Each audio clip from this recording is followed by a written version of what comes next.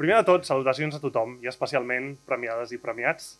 Uh, des de que jo, bueno, havia escrit que des de que jo vaig estar en aquest auditori el 2017, però no és aquest auditori, però des de que vaig rebre el premi, he estat dedicant la meva trajectòria professional a fer el major bé per al major nombre d'éssers possibles.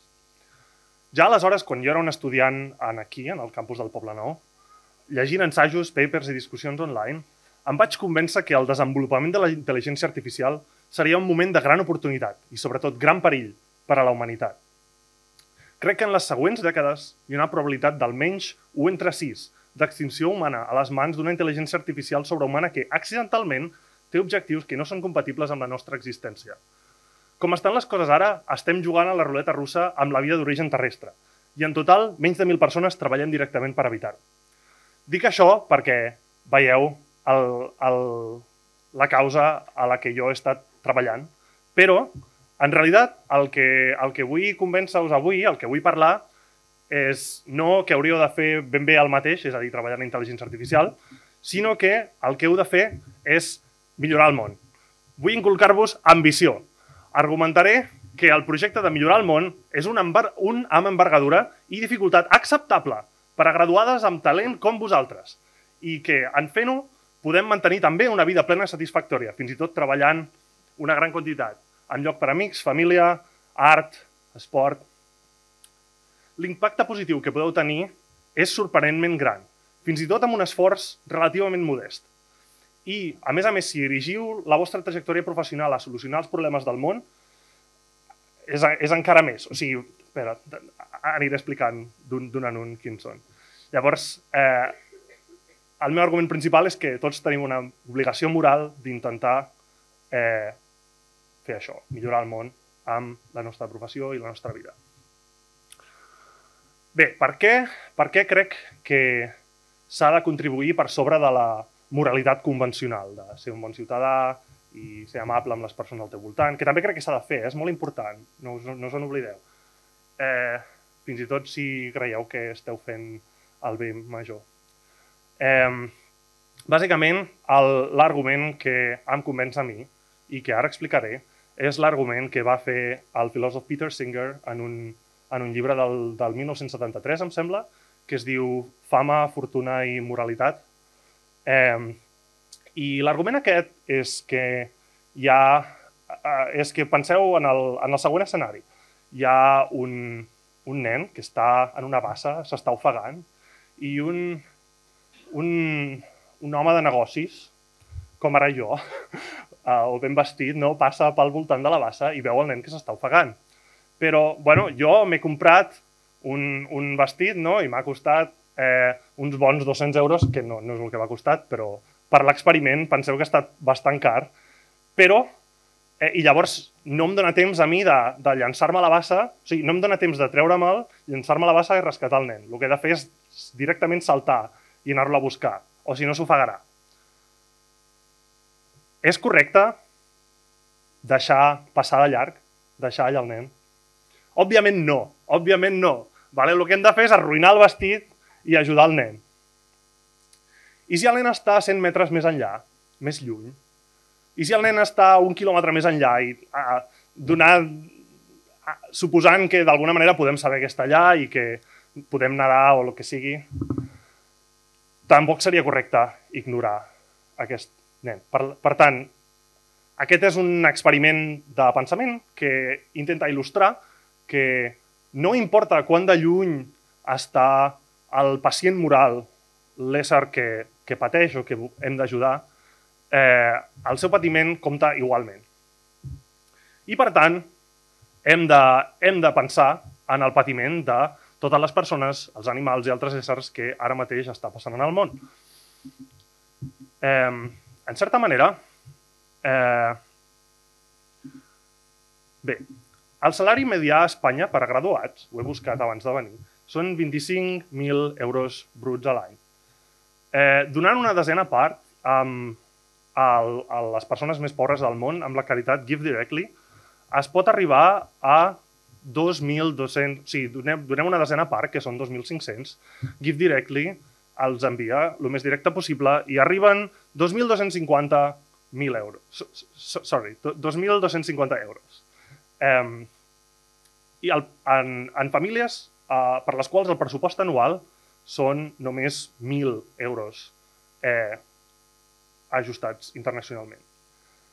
També podem donar aquests diners a la Fundació contra la Malària, que distribueix eh, xarxes d'insecticides per, per protegir dels mosquits i, i ells estimen eh, una vida salvada per cada 4.500 eh, euros. Per tant, més o menys mitja vida salvada per any, com a salari medià a Espanya, que no és gaire alt pel que poden assolir graduades com vosaltres.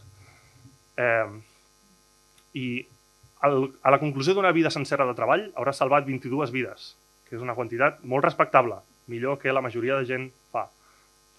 Fins i tot gent que es troba en una situació molt similar o millor, com a països més rics. No vull criticar massa els graduats normals d'Espanya, perquè realment a nivell global hi ha unes fortunes molt majors. No? Per exemple, el que pots fer és anar a ser un programador als Estats Units, rebre un salari de 100.000 o 200.000 dòlars anuals donar un 20%, que és no res, perquè te'n queda molt, i, i així pots arribar a salvar 10 vides a l'any fent servir el càlcul aquest de donar-los directament a la Fundació contra la Malària. I això, bé, el que estic intentant il·lustrar és que és un sacrifici relativament petit per tot el guany que s'obté. O sigui, si aquestes persones les coneixéssiu, les tinguéssiu a prop, fossin els vostres amics, la vostra família, ho faríeu encara molt més eh, amb molta més empenta i gastaríeu molt més que el, que el que estic parlant. Però són la família i els amics d'algú. Eh, malauradament, això només és la superfície del que es pot fer per millorar el món. Sempre hi ha maneres noves de contribuir, eh, que necessiten persones amb talent i treballadores per trobar les idees i realitzar-les. Per això jo crec que el millor, la millor manera de, de tenir l'impacte positiu no és fer una cosa aleatòria i donar una certa una certa quantitat monetària, encara que també, també ho faig, eh, és dedicar-hi la vostra trajectòria professional. Per què fer això i no una altra cosa que potser sembli més interessant, que, que sigui la vostra passió? Eh, suposant que acceptem l'argument moral de que realment eh, és important salvar vides de, o reduir el patiment d'altres éssers a on sigui del món. Eh, però no és, no és molt demanar d'una sola persona que no ha tingut aquesta responsabilitat posada sobre seu per la societat. Eh, recerca de la ONG 80.000 hores, que són, segons ells, el nombre d'hores que hi ha a la teva carrera, indica que els factors més importants per a la satisfacció de la feina són que els teus companys siguin interessants per parlar i bones persones i que us caigueu bé i sentir-se útil i apreciat. I aquestes coses són relativament fàcils d'obtenir si el que estàs fent és directament intentant ajudar al món amb la teva professió segur, segur que et sents útil perquè ho estàs, ho estàs intentant, o sigui, saps perfectament el que està fent la teva feina.